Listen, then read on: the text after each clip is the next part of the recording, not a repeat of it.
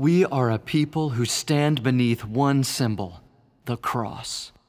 To the world, it says suffering and shame. But to us, it declares unspeakable love.